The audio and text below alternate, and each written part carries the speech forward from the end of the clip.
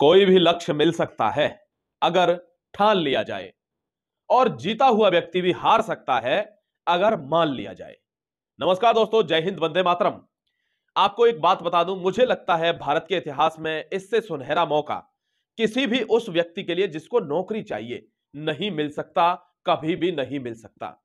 अभी आदमी क्या है, इतना ज़्यादा चंचल मन का हो गया है कि कोई अगर उसको खबर भी मिले तो वो उसमें भी कमियाँ ढूंढता है क्योंकि नेगेटिविटी उसके वेन्स में जा चुकी है, उसके रगों में समा चुकी है। आपको एक बात बताओ दोस्तों, मैंने शॉर्ट वीडियो में भी कल आपको बताया था कि भारत के इतिहास में ऐसा पहली बार हो रहा है, जब एसएससी जीडी की बैक टू बैक वैकेंसी आ रही है और वो भी कई सालों तक। यानी कि अभी एक वैकेंसी जो 2024 के लिए आनी है 2023 के नवंबर में, इसी 24 तारीख को वो अभी फॉर्म नहीं आए हैं। उससे पहले आगे 2025 वाली वैकेंसी का नोटिस जो है वो एसएससी ने जारी कर दिया है। यानी एसएससी कहना क्या चाह रही है कि अगर आपको सच में भारत सरकार में या गवर्नमेंट में जॉब करनी है तो प्यारे भाई, पढ़ना मत छोड़ना, प्यारे बच्चे, पढ़ना मत छोड़ना। लेकिन बच्चा क्या है? बच्चा दोस्तों, इंतज़ार करता है कि कब भर्ती आएगी, कब मैं पढ़ूँगा।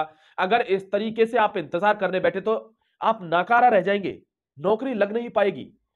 अगर कोई व्यक्ति आपको कह रहा है, अगर उसको थोड़ा इस चीज़ में एक्सपीरियंस है तो वो आपको कह रहा है कि, प्लीज़, दोस्तों तैयारी करते रहिए। आपको ये ऑफिशियल नोटिस दिख रहा होगा। इस नोटिस में साफ़ तौर पर मेंशन है कि जो भर्ती 2024-25 में आनी है, वो अगस्त में आएगी 27 अगस्त को। और सितंबर तक उसका आखिरी डेट रहेगा, यानी एक महीने का टाइम रहेगा।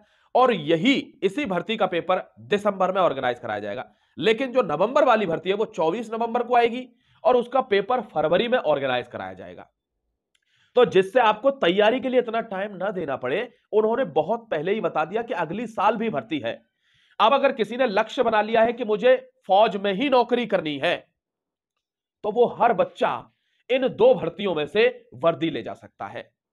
जिसने कई सारे लक्ष्य बना रखे मुझे उसमें भी जाना है, इसमें भी जाना उसमें भी जाना है, हो सकता है ये भर्तियाँ भी उससे निकल जाए। ठीक है?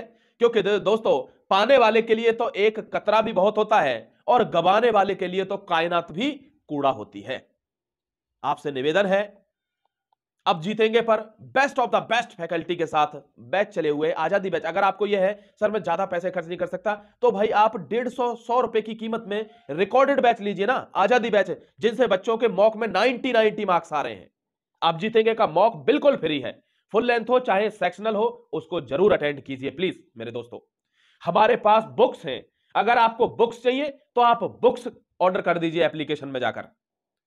आपको दोस्तों यह है कि सर नहीं, मुझे, मैं तो बिल्कुल फ्रेशर हूँ। मुझे अभी लाइव बैच चाहिए, मैं नई चीज़ पढ़ना चाहता हूँ। एकदम लेटेस्ट ट्रेंडिंग की। तो लाइव बैच 15 नवंबर से आ रहा है और बैच का नाम है सर्जिकल स्ट्राइक 2024 और ये इंटीग्रेटेड बैच रहेगा। जो हमारे इस बैच में आ जाएगा, उसको 2024-25 वाले बैच के लिए फ्री में तैयारी रहेगी, क्योंकि कोई भी सर्जिकल स्ट्राइक 2.0 लॉन्च होगा तो वो उस बच्चे के लिए बिल्कुल मुफ़्त होगा, जिसने ये बैच ले लिया होगा 2023 वाला।